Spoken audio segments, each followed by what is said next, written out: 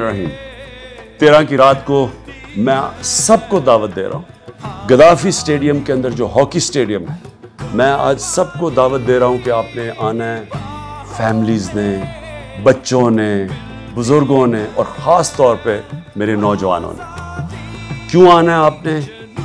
क्योंकि हमने अपनी पचहत्तरवीं सालगिरह को सेलिब्रेट भी करना है, जश्न भी बनाना है। उसके साथ साथ मैंने आपको अपने हकीकी आज़ादी के सफ़र पे लेके जाना है। उसके हम आखिरी मरहलों में पहुँच गए वो मुल्क जो ला ला के नारे पे बना था।